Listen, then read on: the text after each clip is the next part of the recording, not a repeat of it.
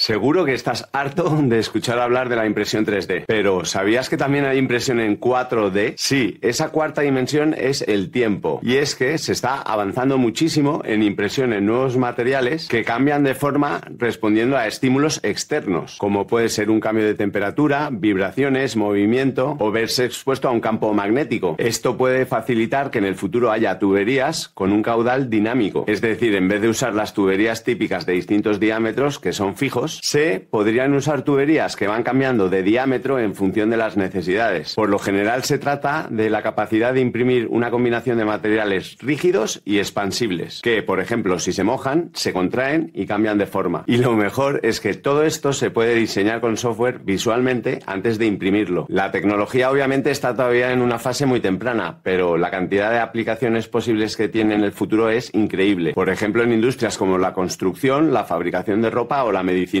Interesante, interesante.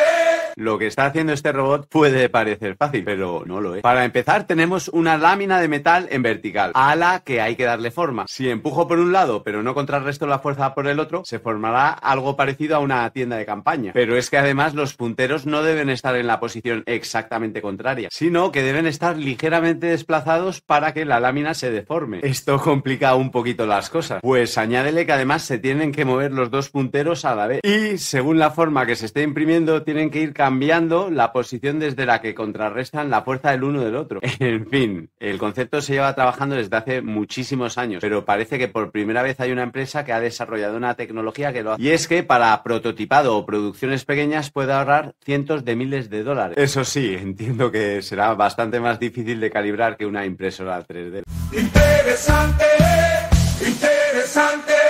Esta joven se llama Tiffany Cullen y tiene un implante de cráneo impreso en 3D. A los 20 años le detectaron un tumor benigno que había que extirpar rápidamente. Le tuvieron que extirpar gran parte del cráneo, pero afortunadamente la tecnología permite cosas increíbles. Y es que afortunadamente se le pudo reemplazar la parte del cráneo extirpada con un modelo impreso en 3D con titanio, plástico y calcio. Interesante, interesante.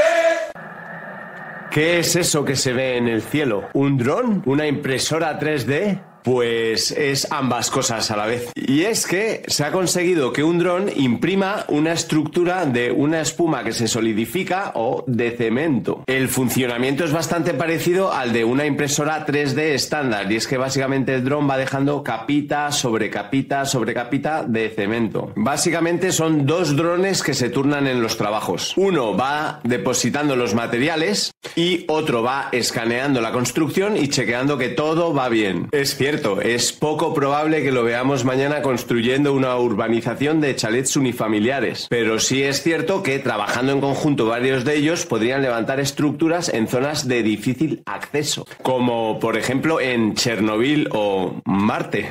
Si te interesa el tema, en la revista Nature han publicado un artículo sobre el tema y explican que el concepto está en parte inspirado por las avispas. Lo llaman tecnología de manufactura aérea aditiva de impresión tridimensional multirobot con valoración en tiempo real de la geometría impresa y adaptación de comportamiento robótica. Se puede decir más alto, pero no más claro.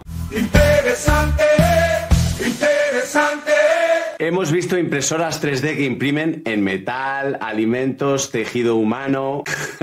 ¿Qué va a ser lo próximo? ¿Un cohete? Pues sí, lo explican en este vídeo de Veritasium. Para empezar, para ver cómo funciona, te tienes que poner una máscara de estas de soldar. Imprime metal nada más y nada menos que a 660 grados. Imprime como casi todas las impresoras, con un filamento pero de aluminio. Y luego con una combinación de láser y plasma lo derriten. Y es que uno de los retos más importantes en la construcción de cohetes es que antes de construir el cohete hay que construir las herramientas para construir el cohete. Una de las principales ventajas es que se pasa de necesitar mil piezas acopladas a una, de nueve meses a dos semanas. Pero la gran pregunta es cómo es que no se derrite el metal con la combustión del combustible. Bien, parece que la solución está en que cuando se imprime el cohete también se imprime un circuito por el que pasa combustible criogénico, que es un combustible que para mantenerlo en estado líquido tiene que estar súper frío. Pero sin duda lo mejor de esta técnica es que acelera muchísimo los ciclos de prueba, error y mejora.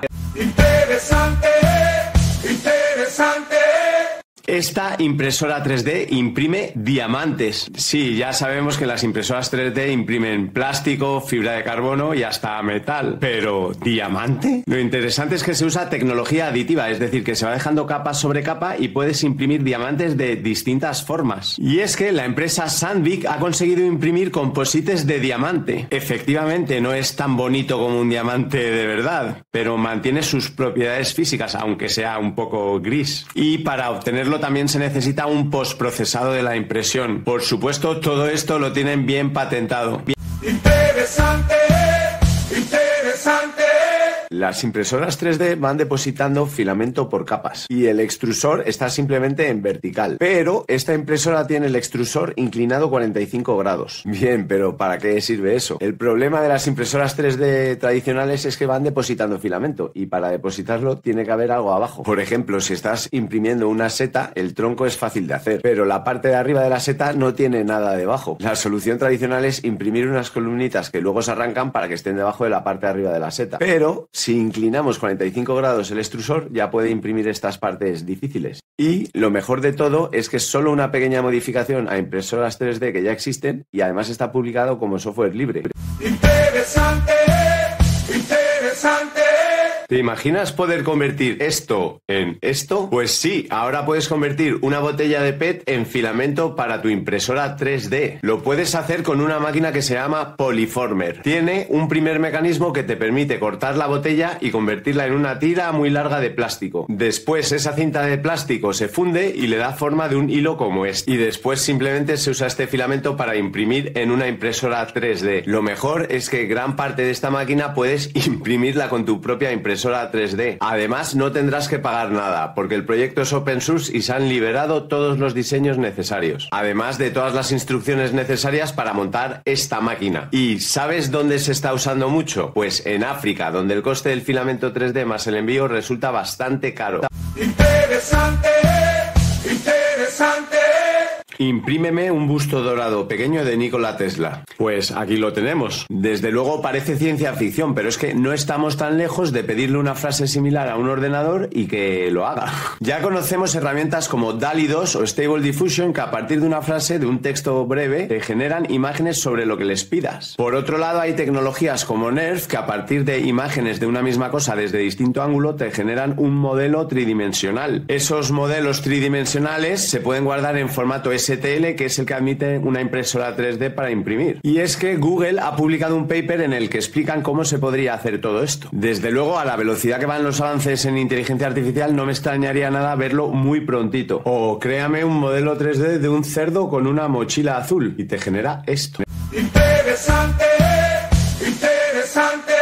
Los hermanos Torres tienen un restaurante en Barcelona, un buen restaurante en Barcelona. Y ya sabemos que hay impresoras 3D que imprimen comida. Pues bien, los hermanos Torres explican cómo utilizan una impresora 3D que imprime comida para aprovechar las partes que se suelen descartar de los alimentos. Por ejemplo, de un pescado utilizan la piel y las espinas para imprimir partes que se incorporan al plato principal. Con esas partes hacen una pasta y utilizan esa pasta para, con una impresora 3D, imprimir lo que sea en formas llamativas. Explican que no solo se trata de reaprovechar al 100% el producto, sino también de descubrir nuevas texturas y nuevos sabores. ¿Y tú qué opinas? ¿Es una pijadita o puede tener sentido?